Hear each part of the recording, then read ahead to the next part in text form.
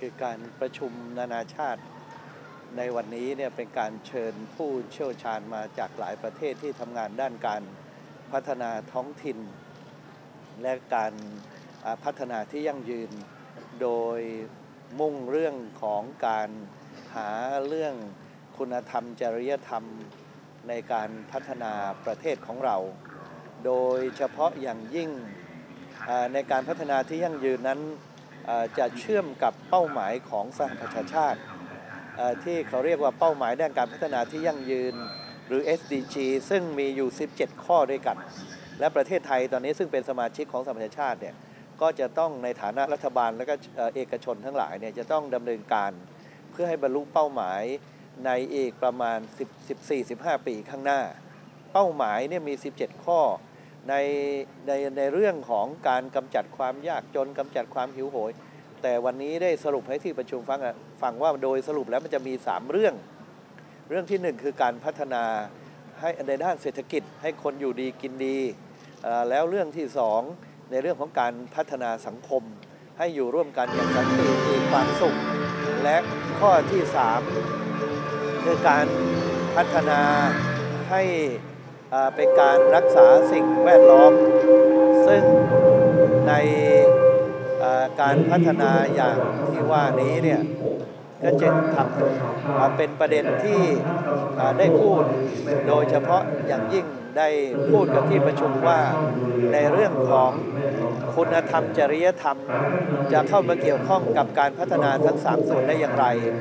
โดยเฉพาะในทางพุทธศาสนาพระพุทธศาสนานั้น ให้ถือทางสายกลางในการพัฒนา คือไม่เน้นไปเรื่องของการพัฒนาวัตถุอย่างเดียว หรือการพัฒนาจิตใจอย่างเดียว โดยเป็นการพัฒนาที่สมดุลเมื่อพัฒนาอย่างนี้จิตใจและศีลธรรม คือเรื่องคุณธรรมเนี่ยจะเป็นฐานของการพัฒนา เพราะเมื่อคนมีคุณธรรมจริยธรรม เศรษฐศาสตร์ก็จะเป็นเศรษฐศาสตร์ชาวพุทธที่ให้ความอยู่ดีกินดีแก่ประชาชน ในเรื่องของสังคมก็จะเกิดสันติภาพ ในเรื่องสิ่งแวดล้อมก็จะทำให้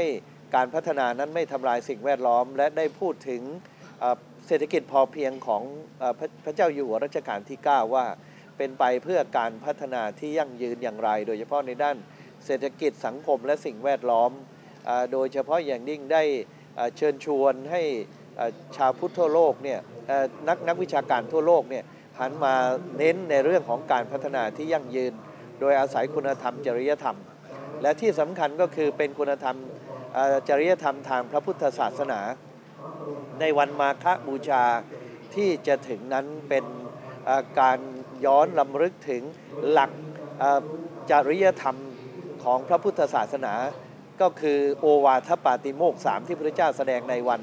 มาฆบูชา ซึ่งก็ได้นำมาอ้างในที่ประชุมนี้ก็คือ การไม่ทำชั่วทั้งปวง การทำดีให้ถึงพร้อมและทำจิตใจให้ผ่องใส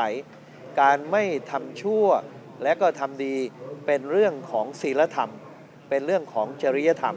ซึ่งวัดได้ประเมินได้ว่า เราไม่ฆ่าสัตว์ไม่ลักทรัพย์ และเรามีการแบ่งปันมีการช่วยเหลือกันนี่เป็นการไม่ทำชั่วการทำความดี เช่น ปลูกต้นไม้ หรือทำความดีเพื่อสิ่งใดก็ตามในสังคมนี่มองเห็นได้ชัด แต่เราจะทำดีต้องมีคุณธรรมคือจิตใจให้ผ่องใส ทำจิตใจให้ผ่องใสจากความโลภความโกรธความหลง และพัฒนาจิตใจด้วยเมตตากรุณามุทิตาอุเบกขาเป็นต้น เราก็จะมีคุณธรรมที่เป็นพื้นฐานของจริยธรรม ซึ่งก็ได้พูดให้ที่ประชุมฟังว่าเรื่องของการพัฒนาคุณธรรมเพื่อจิตใจของเราก็จะต้องมีขึ้นก่อน และเราก็จะนำคุณธรรมนี้ไปควบคุมพฤติกรรมของเราให้เป็นไปเพื่อการไม่ทำชั่วทำความดี และในที่สุด เราก็พัฒนาเศรษฐกิจพัฒนาสังคม และอนุรักษ์สิ่งแวดล้อม ในวันมาฆบูชาจึงถือว่าให้เราปฏิบัติตามหัวใจพุทธศาสนาสามข้อ ไม่ทำชั่วทำดีทำจิตใจให้ผ่องใสเป็นการบูชาพระพุทธเจ้าในวันมาฆบูชา เพราะพระองค์แสดงสามข้อนี้ในวันเป็นโอวาทปฏิโมกเพราะฉะนั้นเราก็นำมา